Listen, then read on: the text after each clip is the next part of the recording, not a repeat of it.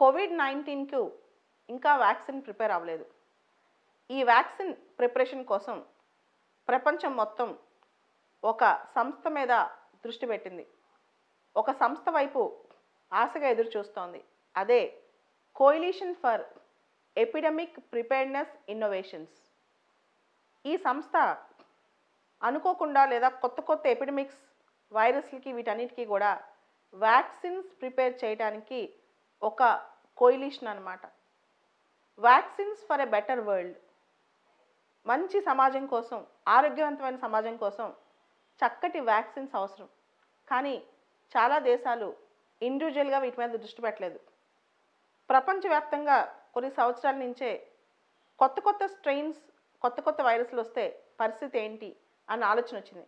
మనం చూసాం SARS MERS severe acute respiratory syndrome Middle East respiratory syndrome అదేవిధంగా Nipah virus Zika virus Ebola virus swine flu bird flu dengue ఇన్ని జబ్బులు చూసాం. వీటన్నిటికీ సరైన మందులు ఉన్నాయా? పూర్తి స్థాయిలో మందులు వచ్చాయా? అంటే ఈ సమస్య అర్థం చేసుకుని ఒక గ్రూప్ స్టార్ట్ అయింది. అదే Coalition for Epidemic Preparedness Innovations అని. అండ్ ఈ పర్పస్ కోసం ఇంటర్నేషనల్ వ్యాక్సిన్ ఇనిషియేటివ్ అనమాట ఇది. International Vaccine Initiative vaccines prepare చేయడం కోసం.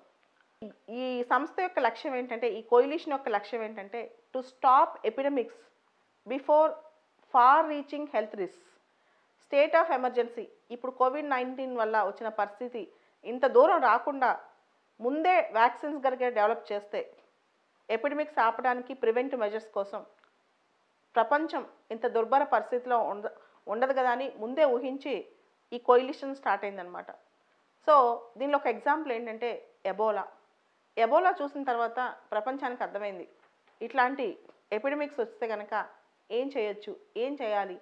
ఎలా మనం రక్షించుకోవాలి? దీనికి ఎటువంటి మెడిసిన్స్ ఉండాలి? వ్యాక్సిన్స్ ఉండాలని Coalition for Epidemic Preparedness Innovations intends to develop vaccines against viral pathogens viral pathogens ఏదైతే వైరల్ ప్యాథోజన్స్ ఉంటాయో డబ్ల్యూహెచ్ఓ గుర్తించిన వరల్డ్ హెల్త్ ఆర్గనైజేషన్ గుర్తించిన వైరల్ ప్యాథోజన్స్కి ఇది వ్యాక్సిన్ ట్రై చేయడం తయారు చేయడానికి ట్రై చేస్తూ ఉంటుంది అనమాట సో వ్యాక్సిన్ తయారు అవ్వగానే ఇమీడియట్గా ఎక్కడైతే ఆ స్ట్రెయిన్స్ కనిపిస్తాయో వాళ్ళకి పంచడం కూడా దీనిలో ఒక భాగం. ఉదాహరణకి MERS Middle East respiratory syndrome ఈ Coalition for Epidemic Preparedness Innovations MERS వచ్చిన తర్వాత ఇంకా యాక్టివ్గా దానికోసం పనిచేస్తుంది దాని వ్యాక్సిన్ కోసం. మెర్స్ అనేది ఒక జూనోటిక్ డిసీజ్. చాలా వరకు అది క్యామెల్స్ అంటే ఒంటెలతో వచ్చిందని అనుకుంటున్నారు. సో దీనికి వ్యాక్సిన్ తయారు చేయడానికి నడుం బిగించింది Coalition for Epidemic Preparedness Innovations. ఈ కోయిలిషన్ అనేది public private partnership civil society and Bill Gates Foundation Melinda Gates Foundation Bill and Melinda Gates Foundation ఇలా చాలా ఫౌండేషన్కి డబ్బులు ఇస్తున్నాయి ఫండింగ్ ఇస్తున్నాయి అన్నమాట. సో మేజర్గా Coalition for Epidemic Preparedness Innovations అనేది ఎమర్జింగ్ ఇన్ఫెక్షియస్ డిసీజెస్ కోసం పనిచేస్తుంది. Emerging infectious diseases. మనందరికి తెలుసు MERS Ebola Zika chikungunya Rift Valley fever ఇవన్నీ ఎమర్జింగ్ ఇన్ఫెక్షియస్ డిసీజెస్ కాబట్టి వీటన్నిటి కోసం మందుల కోసం ఇది రీసెర్చ్ చేస్తుంది అనమాట Coalition for Epidemic Preparedness Innovations the idea was conceived in two thousand fifteen. ఈ ఐడియా అనేది రెండు వేల పదిహేనులో వచ్చింది. ఈ కోయిలిషన్ అనేది రెండు వేల పదిహేడులో లాంచ్ అయింది.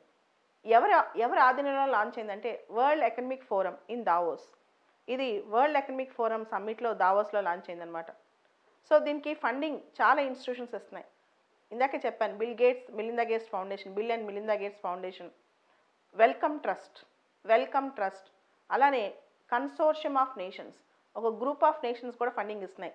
నార్వే జపాన్ జర్మనీ రీసెంట్గా యూరోపియన్ యూనియన్ కూడా ఫండింగ్ ఇవ్వడం స్టార్ట్ చేసింది.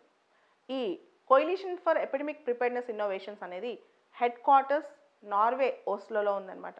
నార్వే ఓస్లోలో ఉంది. ఇప్పుడు ప్రపంచం మొత్తం ఈ Coalition for Epidemic Preparedness Innovations ఎప్పుడెప్పుడు డ్రగ్ ప్రిపేర్ చేస్తా వ్యాక్సిన్ ప్రిపేర్ చేస్తా కోవిడ్ నైన్టీన్ వైరస్ కని ఎదురు చూస్తోంది ఇండివిజువల్గా ప్రతి దేశం చేస్తున్నా కానీ ఈ కోయిలిషన్ వల్ల ఎక్కువ లాభం ఉండే అవకాశం ఉందనుకుంటున్నారు.